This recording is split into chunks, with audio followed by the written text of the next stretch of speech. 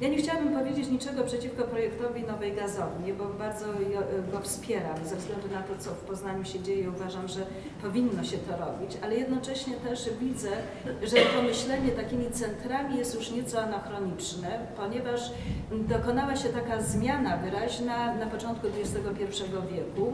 Ona dotyczy i planowania urbanistycznego i architektury. Y, to spowodowało dwoma rzeczami. Raz oczywiście 9-11, a drugie to jest kryzys ekonomiczny.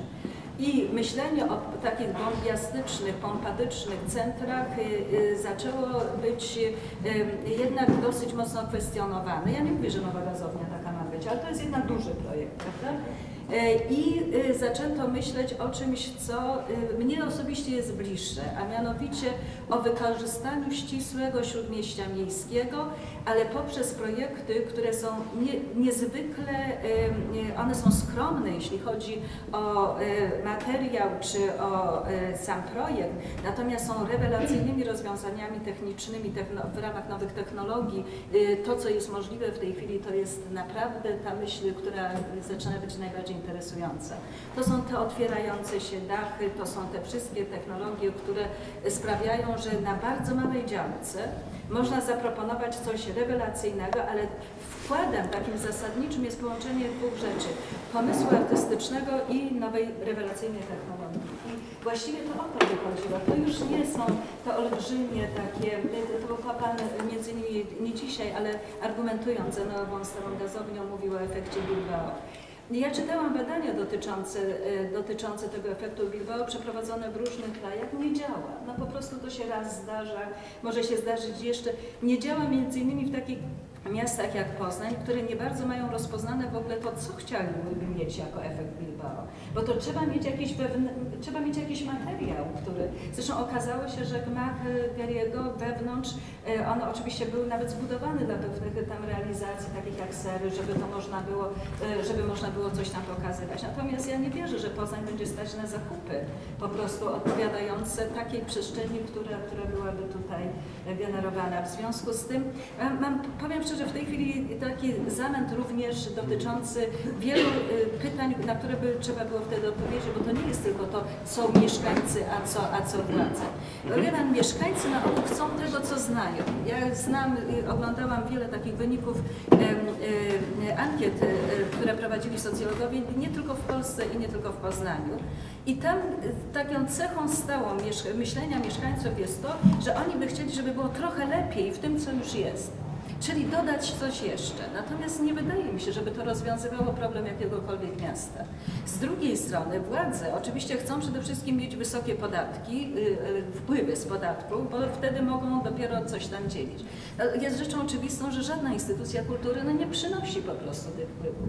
W związku z tym ona, y, cały Kongres Kultury Polskiej właściwie rozgrywał się wokół tego, o czym po części mówił pan, pan Marek Wasilewski, czy ma miasto finansować, czy mają być to takie, to mają być stałe budżety instytucji, czy mają być projektowe. I w Poznaniu jest drugi, w tej chwili druga inicjatywa, którą jest scena robocza, odwołująca się moim zdaniem do kapitału rzeczywistego kulturowego miasta, jaką są sceny niezależne, różnego rodzaju akcje teatralne, gdzie y, y, porozumiały się ze sobą rozmaite grupy, które chcą razem taką scenę roboczą powołać, właśnie, ale też na tej samej zasadzie projektowej. Wygrywa ktoś projekt i dostaje scenę prób, dostaje jednocześnie przestrzeń, możliwość prowadzenia spektakli, bo okazuje się, że my wydajemy pieniądze, e, nas, e, które później nie są w ogóle w żaden sposób nie wracają jakby ani do tych, którzy przygotowują spektakle, ponieważ spektakl grany jest cztery razy w roku. No kogo stać na to, żeby przygotowywać spektakl, który ma tylko cztery spektakle, e, który jest grany cztery razy, prawda? I to jeszcze nigdy nie wiadomo właściwie, gdzie się to będzie działo i są to akcje bardzo doraźne. W związku z tym ja bym powiedziała tak, że nie wyobrażam sobie, żeby można było bez wsparcia miasta rzeczywiście zrobić tutaj coś z sensem, bo to są działania długofalowe. Ale z drugiej strony te inicjatywy, które się pojawiają, one są bardzo zróżnicowane i ja bym zdecydowanie wspierała to, co w tej chwili jest właśnie tą bezdomną kulturą, czyli to już jest. Tylko teraz trzeba byłoby zna, po prostu poszukiwać i wspierać jakieś k- e, m- może projekty, które są w miarę konkretne pokazywałyby, gdzie osadzać. Natomiast nie bardzo wierzę w to, że nagle Poznań staje się takim wielkim centrum kultury, e, które będzie mogło e, e, funkcjonować jako miasto kreatywne, dlatego że przecież trzeba sobie powiedzieć wyraźnie, to jest nieduże miasto, to jest miasto, które nie ma żadnej wielkiej zabytkowej architektury, ma bardzo skromną zabytkową, nie ma sztuki współczesnej wielkiej, ma, to wszystko jest w niezwykle skromnej skali, co my mamy w Poznaniu. W związku z tym stawianie teraz e, e, takiej tezy również, że to przez kulturę możemy to miasto wyciągnąć z niebytu jakiegoś takiego międzynarodowego, jest wydaje mi się też mało skuteczne.